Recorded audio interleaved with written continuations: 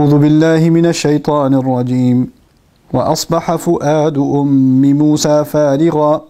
إن كادت لتبدي به لولا أن ربطنا على قلبها لتكون من المؤمنين. رب اشرح لي صدري ويسر لي أمري. واحلل عقدة من لساني يفقه قولي. فالحمد لله والصلاة والسلام على رسول الله وعلى آله وصحبه أجمعين. السلام alaikum Quran Weekly. We are on the 20th juz now, Alhamdulillah, we're in the 20s. And this is Surah Al Qasas, one of my favorite ayat of the surah, talking about the um, uh, mother of Musa alayhi salam.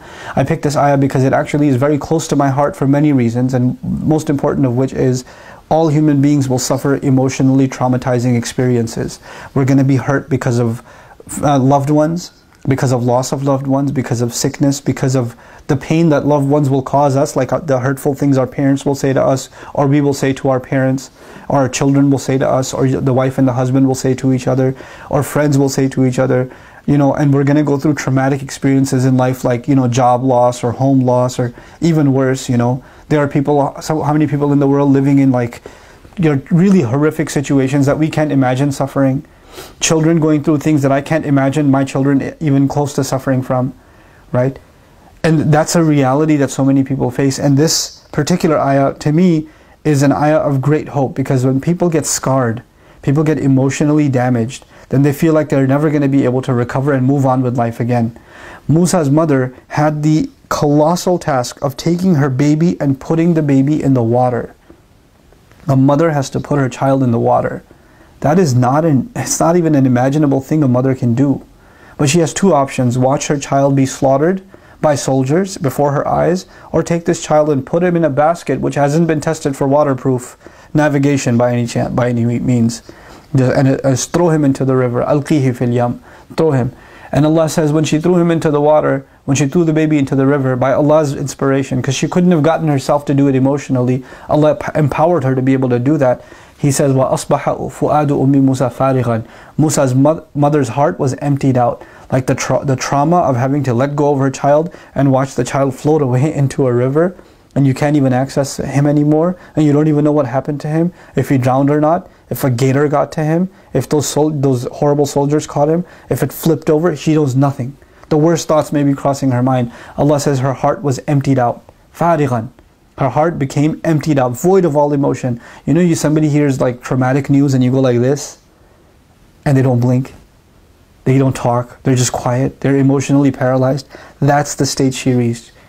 In kadat latubdi She almost gave up her secret. She almost came out running and saying, That's my baby, that's my baby. But if she said that, he would have been killed. Now Allah says, لولا أربطنا على قلبها had we not firmed her heart, had we not tied up her heart, had we not kept our heart together. Allah took her fu'ad, which was a heart that's inflamed. And in the same ayah, He used a different word for fu'ad, which is qalb. He calmed her heart down and brought her back to a normal state. And Allah is describing that He did that. You know, there are people that are emotionally traumatized and can never recover. Why not? Because Allah hasn't tied up their heart. Allah hasn't done that. We as human beings don't have the ability to emotionally recover sometimes, but we're learning in this ayah that Allah has the ability to let us heal and move on. Allah, you could say to yourself, I don't have the emotional capability of forgiving you. But Allah says, I'll tie your heart and I'll give you that ability. You can say in your heart, I have, I was, I'm too damaged by what happened. There's no way I can move on with my life.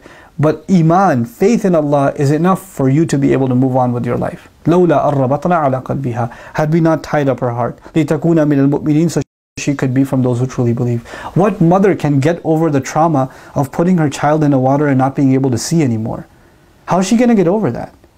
But Allah gave her the strength of heart that not only did she get over it, she was able to think clearly afterwards and send his, his sister after him. She wouldn't have been able to think at all had Allah not intervened. So Allah will intervene into our emotional states. He will intervene. And she's not a prophet. She's, she's just a believer. Which means this is an opportunity for you and me. What, whatever emotional trauma you're going through, know that Allah can intervene and give you peace of mind, peace of heart. And He can give you tranquility again. Whether it's anxiety, fear, whether it's grief, whether it's anger, what, whatever emotion, whatever thing, thing has happened that's scarred you, that's left you scarred, Allah can remove that scar entirely. And I pray that you are able to ask Allah for that genuine removal of scar and that Allah gives you that firmness of heart so you can be from those who truly, truly believe and can live a healthy spiritual life and healthy emotional life. Barakallahu li wa lakum. Alaikum wa rahmatullahi wa barakatuh.